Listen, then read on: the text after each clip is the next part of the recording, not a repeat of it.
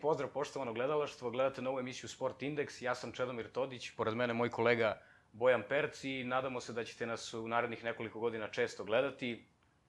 Ako se pitate otkud dva voditelja u emisiji, setite se da nesreća nikad ne dolazi sama, a pogotovo ne isto obučena. Što se, ti, što se nas, našeg današnjeg gosta tiče, legenda kaže da nikada nije promašio šut sa polu distanci. Ta ista legenda kaže da je Carmelo Anthony u stvari poreklom iz Kikinde. A kada ne igra za fakultet, e, vreme provodi očitavajući struju kao radnik EPS-a. Tako da ako živite negde na Zvezdari i niste zadovoljni svojim računom za struju, znate kome da se obratite. Naš današnji gost, Mom Momčilo Marčeta, košarkaš Fakulteta političkih nauka. Momčilo, dobrodošao. Hvala na pozivu. Pod jedan, studiraš, igraš za fakultet, igraš biznis ligu, radiš, povrh svega i moram da razočaram dame, Momčilo je zauzet, tako da bih te pitao kako sve to postižeš. Pa, rutina je ključ svega. Ovaj, prvu godinu sam proveo više trenirajući nego studirajući, a drugu godinu sam, mislim, radim već par meseci, pa se to samo se nekako uklopilo, pa mi nije sad problem i da radim, studiram i u slobodno vreme ovaj, odem neki termin i odigram neku utakmicu.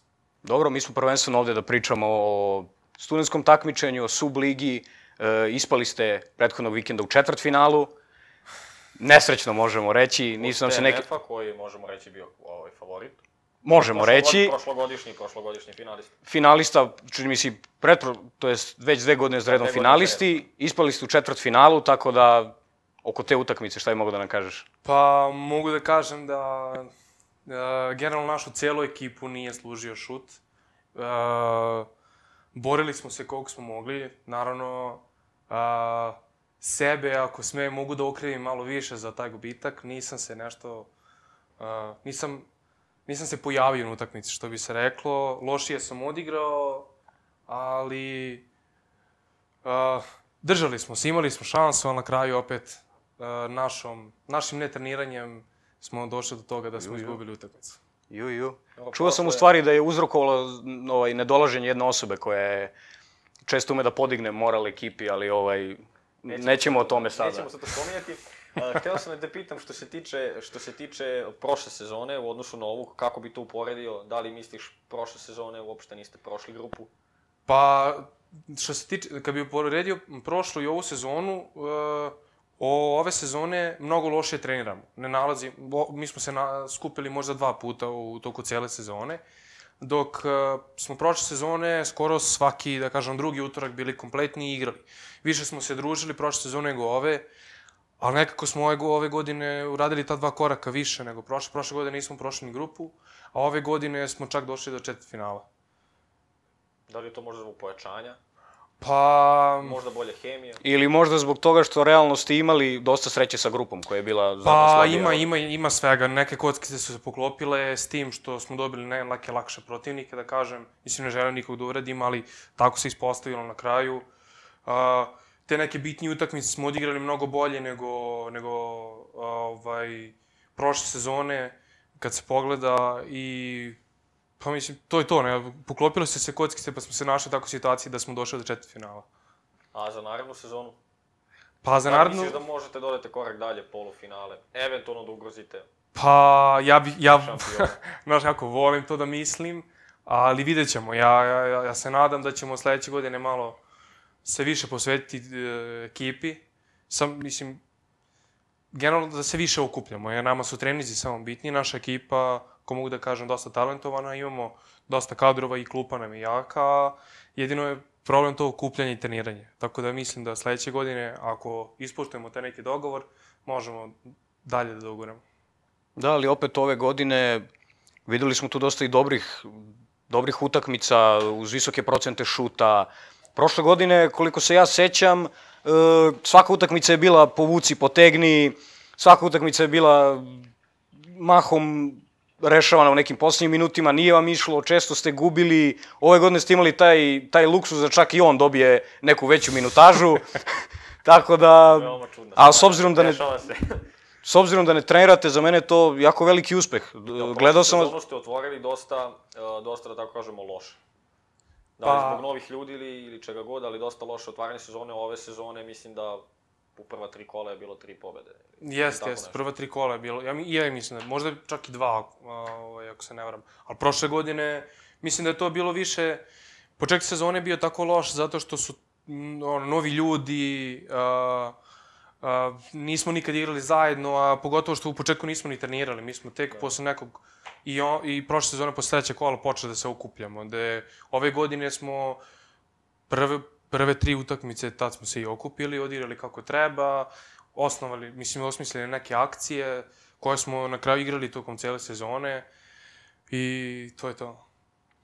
Ja što sam hteo da te pitam, gledao sam vas mnogo puta ove godine i obično ekipe koje izađu, igrači izađu na zagrevanje, pitaju se šta im je trebalo u nedelju uveče da dođu u, u Radivoja Koraća, iste, nema tu ni istezanja, nema ničega dok naši preskaču vijaču.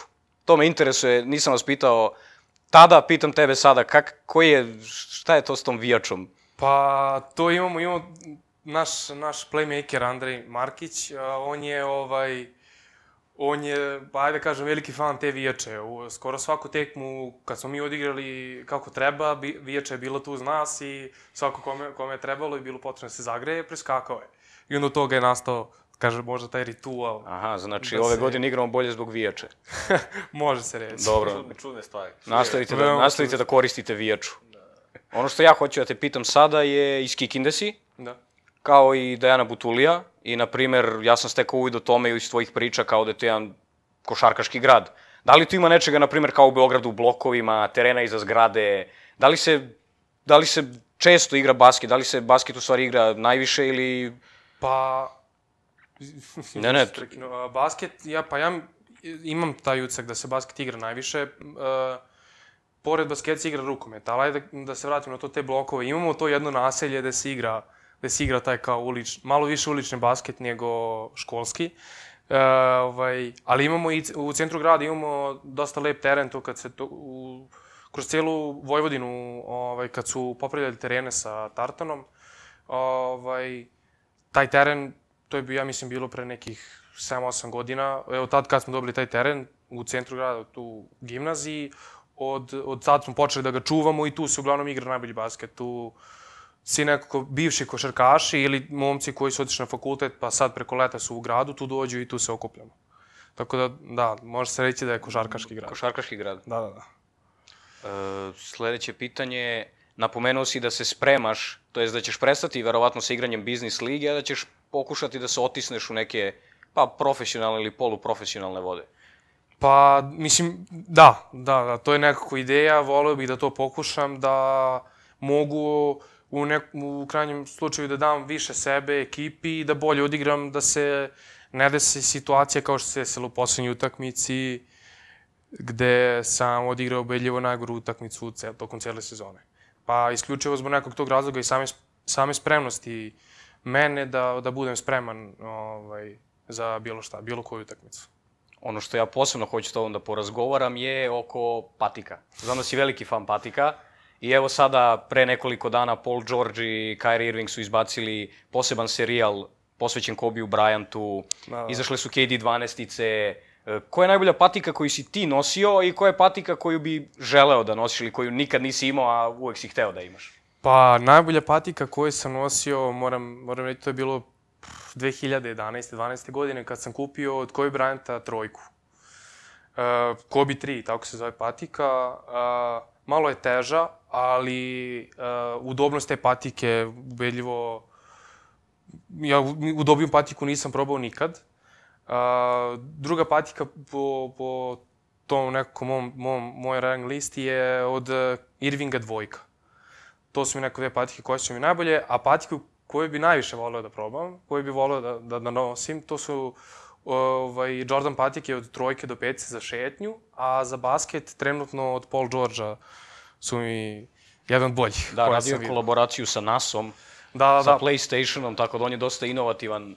Meni se sviđa jako šta on radi, očekuju se i Bukerove patike, Da, da, Mitchellove. Mitchell, je č- da, čini mi se, izbacio svoj prvi broj.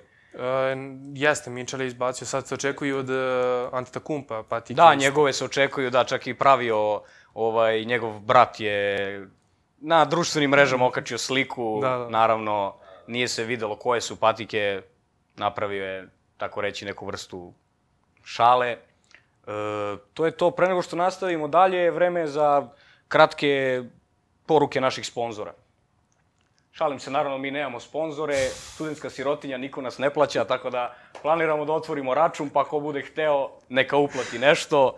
E, ono što, što pre, naravno, dogorelo je do, do noktiju. Ono e, šta sledi jeste e, percepcija sa Bojanom Percom. E, očekuje nas serija nekih flash pitanja i inter, interesovilo bi nas šta ti misliš o nekim stvarima koje se dešavaju aktuelno u sportu. Da vidimo kako će god da se snađe. Uh, pa evo ovako, prvo pitanje, uh, tvoj favorit za osvajanje uh, lige, su. Sub, uh, pa moram, mislim, fon, ajde da kažem. Uh, Harden ili Janis MVP? Janis. Uh, Janis ili Janis, kako se kaže, ne? Pa ja, pa ja, ja ga zovem Janis Antetokounmpo, ne Janis. Uh, omiljeni tim u NBA-u? Omiljeni tim u NBA-u, mislim, New York Knicks i San Antonio. Ajde da kažem. Uh, klub tebi osvaja ove godine? NBA. NBA, uh, pa voleo, voleo bih da to osvoji, da to bude uh, ovaj, Milwaukee. Ali mislim da, s obzirom da Golden State ima pet igrača koji su all-star kalibra, tako da tu može teško da se raz. Uh, pa evo ovako, Kobe, Jordan ili James? Kobe. Uh, Melovih 43 pojena Chicago ili 50 Miami? Uh, 50 Miami, zato, mislim, gledao sam jednu i drugu utakmicu, 50 Miami zato što je to ubedljivo uh, najbolji prikaz skok šuta, jer on, on tad, tu utakmicu uopšte nije, nije, nije išao nijedan na prodar. Svaki poen koji je dao bio iz skok šuta. Neću se, neću se praviti da ovo nije bolelo, tako da ovo je vjerojatno poslednji put kada je on bio gost. Ne računaj više da ćemo te... Možeš ti... Svedočimo da imaju sličan skok šut. Znači, uče od majstora. uh, sledeće pitanje, imamo li šanse da osvojimo svetsku ove godine? Reprezentacije. Imamo, imamo, imamo velike šanse, ako naravno uh, svi igrači odluče da se, da se odazovu pozivu. Da li misliš da li Što će vodi našem igrati? sledećem pitanju? Sledeće pitanje. Šta? Da li će Jok, Jok, Jokić igrati? Pa, pravo da ti kažem, s obzirom da i sam, Đor, sam Đorđević vodi tu nekakvu ekipu i namestio tu neku hemiju, mislim da nam on nije preko potreban. A, naravno da ako, do, ako se pridruži, on će moći da da svoj doprinos, jer svi znamo kakav je on igrač, ali čak i da ne dođe, mislim da imamo velike šanse da uzmemo, da uzmemo zlato. Zvezda ili budućnost? Finale. Zvezda. Ovo je pod uticajem rečeno, ovo je pod uticajem rečeno, rap ili trap? Rep. Uh, Westbrook, 24 po moje granice večeras manje ili više? Uh, protiv koga igraju? Uf. Juta. Utah, Utah? Da. Uh, pa mislim da će biti više. Više, a? Dobro. Ono, To je to. Ništa, momčilo, hvala ti što si bio naš gost. Poštovani gledalci, to je bilo to za danas. E, očekuje nas kraj takmičenja u, u, u Ligi Univerziteta Beograda, tako da u narednim nedeljama očekujte još po neku emisiju, još zanimljivih gostiju i sportski pozdrav.